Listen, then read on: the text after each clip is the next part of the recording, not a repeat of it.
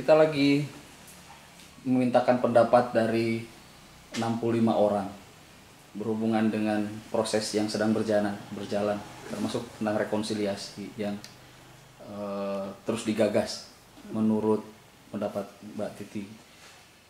Rekonsiliasi yang seperti apa yang harusnya dilakukan oleh eh, negara atau proses penyelesaian seperti apa yang harus diselesaikan oleh negara.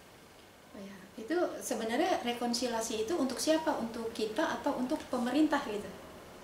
Kalau untuk eh, Pram, s- seperti yang kemarin-kemarin yang saya dengar dan saya eh, tahu, itulah eh, harus melalui hukum.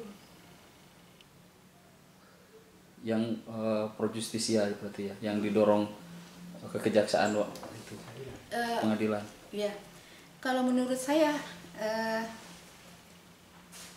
kenapa eh, pemerintah apa memisah-misah seperti itu ya? Eh, apa eh, pelurusan ini separo, ini pelurusan separo, ini pelurusan separo. Kenapa tidak diambil intinya aja gitu?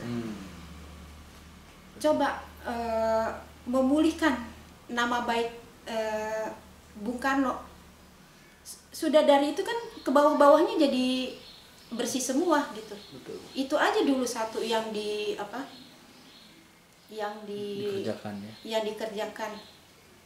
Semua kan eh, terjadinya semua ini kan mm, apa? eh, karena pengikut eh, apa? eh, mematikan eh, apa? Pengikut-pengikut Bung Karno kan untuk me- untuk eh, apa mematikan si Bung Karno ini. Kalau menurut saya sih seperti itu. Kalau Bung Karno udah selesai, semua akan selesai.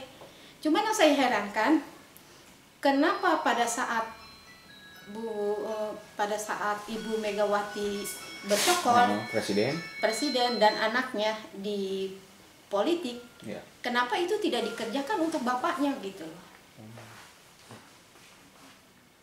Kalau kenapa gitu kan eh, orang-orang juga sudah memberi masukan untuk eh, Ibu Mewa, Ibu Megawati.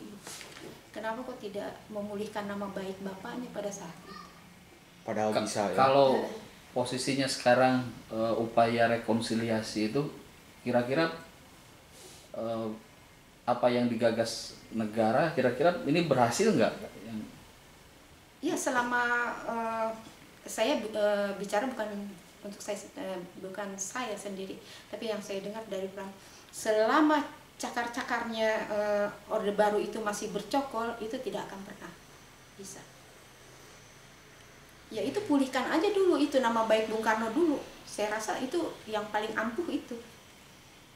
itu diawali dari situ harusnya ya Iya. Itu menurut saya ya. betul betul Hmm. Jadi kalau kalau di antara eh, keluarga antar keluarga sebetulnya kan sudah terjadi rekonsiliasi atau belum di antara katakanlah eh, ada asosiasi bukan asosiasi itu eh, yang perkumpulan itu bagaimana antar antar keluarga itu Eh, maksudnya perkumpulan-perkumpulan. kan ada keluarganya pahlawan revolusi dengan eh, korban-korban 65 sebetulnya sudah berapa kali ketemu? Itu kan bagian sebagian kecil-kecil aja gitu maksud saya itu. Kenapa nggak yang di atasnya aja dulu? Di atasnya selesai di bawah pasti selesai gitu. Kalau yang di bawah-bawahnya ini kan terlalu lama. Apa bisa puluhan tahun berapa mau selesai gitu. Kenapa dari atas aja dulu dipegang gitu?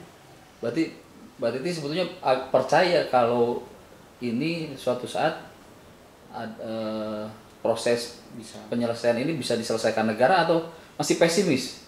Oh saya masih pesimis, pesimis. Yang mengikuti apa yang tadi eh, Pram bilang yang selama cakar-cakarnya itu Hmm. cakar-cakarnya orde baru masih ada masih pesimis ibu masih pesimis. Iya. Pulihkan aja nama baik Bung Karno. Itu bisa menjalar ke mana-mana. Oke. Iya sip. Terima kasih